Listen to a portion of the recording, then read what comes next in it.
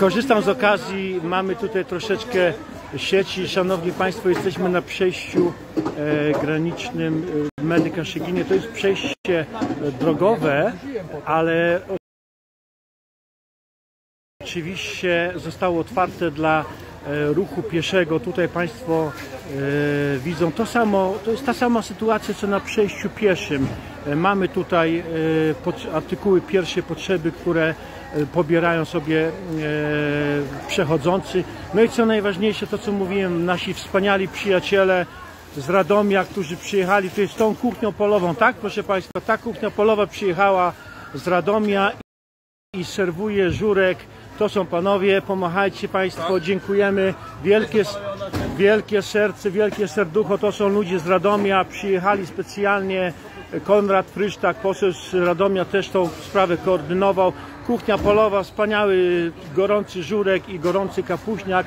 Tutaj Państwo widzą, siedzą sobie ludzie, wchodzą, przyglądają się, mają do wyboru i środki chemiczne, i jedzenie, i gorące napoje, wodę. Są również przygotowane wózki dla dzieci, e, są przygotowane foteliki, chociaż one się cieszą mniejszym e, jakby zainteresowaniem, bo mówiłem Państwu, że większość tych osób już coś na nich za granicą, za granicą czeka i za chwileczkę ich, ich, odbierze. Tak to wygląda. Po tej stronie już, e, proszę Państwa, jest naprawdę zupełnie lepiej. Ci ludzie już zupełnie inaczej oddychają, zupełnie inaczej się zachowują, czują się tutaj bezpiecznie, dzieci zaczynają się uśmiechać. Są również e, zabawki dla dzieci, są przytulanki dla dzieci. Tam gdzieś z tyłu widać takiego malca, który trzyma jakiegoś takiego smoka i uradowany, szczęśliwy, że z mamą e, znalazł się już po tej dobrej, po polskiej stronie.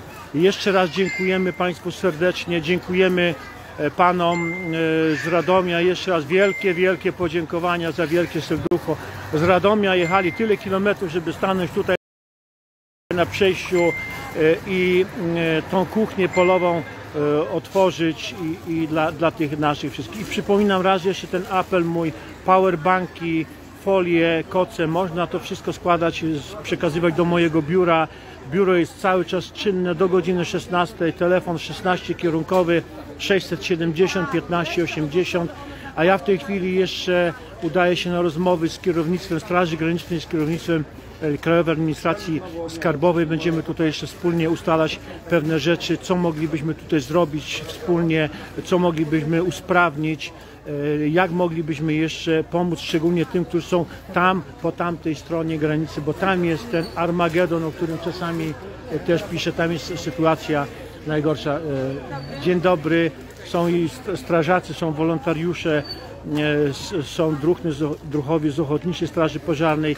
Wielkie dzięki, ci ludzie naprawdę wykonują fantastyczną, fantastyczną robotę. Ja później Państwu zamieszczę zdjęcie, które zrobiłem wczoraj, niezwykle wzruszające, jak funkcjonariuszka Straży Granicznej pomaga e, ukraińskiej matce i e, przytula do siebie malutkie, malutkie e, dzieciątko, nie, nie, niemowlę. Wszystkiego dobrego życzę Państwu. Ja idę dalej do pracy. Tutaj wszystkim Państwu wolontariuszom, tutaj proszę patrzeć, jak Panie pięknie pracują.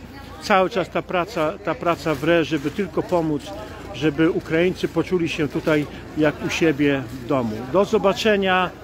e, Do następnej relacji. Trzymajcie się ciepło, bo tu jest bardzo zimno, ale na szczęście przestało padać. Wszystkiego dobrego.